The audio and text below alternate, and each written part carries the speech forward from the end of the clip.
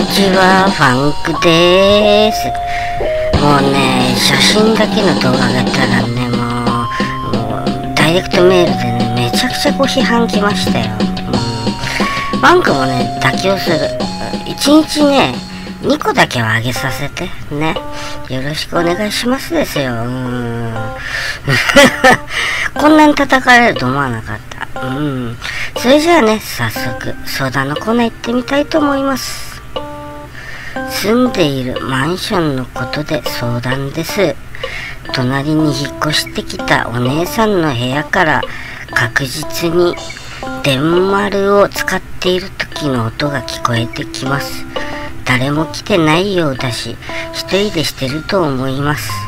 ほぼ毎日使っているので、いつか、あの、壊れちゃったので貸してもらえないですかと、そんな妄想で頭がいっぱいです。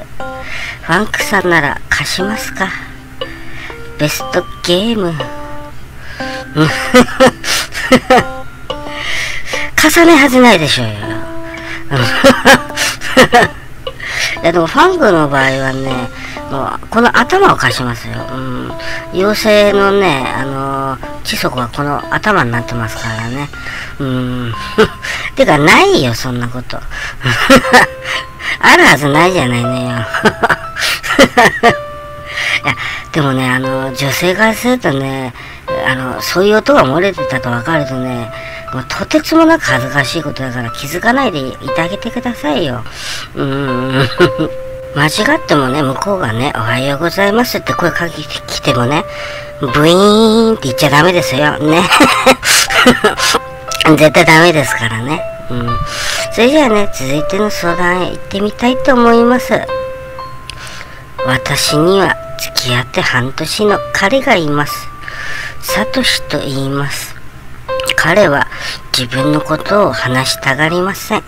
聞くと怒るので私もその先は聞かないでいます。この間結婚の話が出ました。どこに住んでいて何の仕事をしていて兄弟や家族はいるのかわからないことだらけです。こんな状況で結婚していいのでしょうか友達がいないので相談できる人がいません。いいアドバイスをお願いします。カン、22歳。うーん。まずね、どんな人かわからないのにね、付き合っちゃダメ。うーん。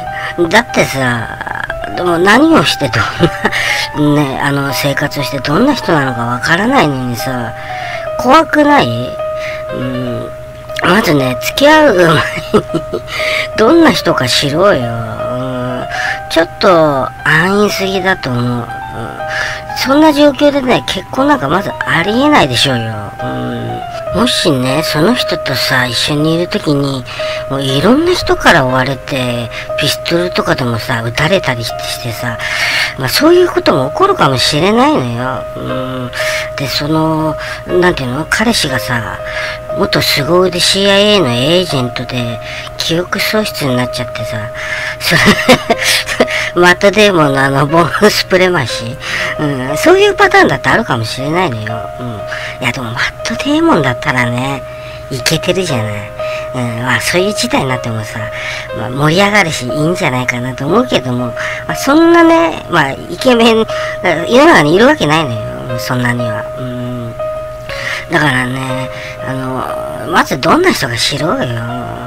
結婚とか、まあもう問題が、まず知ってからよ。うん、知ってね、あのなんて結婚っていうのはお互いのことを知って理解して結婚するものなのよ。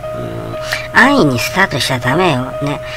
首簡単に振っちゃダメよ。まず、どんなに怒ろうとも、これはね、将来に必ず関わることだから、確実にね、どんな人かを知ってからね、またあの、なんていうの、ちゃんとお付き合いもして、ね。もうだって普通今付き合ってるっていう感じじゃないと思うよ。なんとなくいいから一緒にいるっていう感じ。これは付き合いじゃないですからね。まず、どんな人から知ることから始めましょう。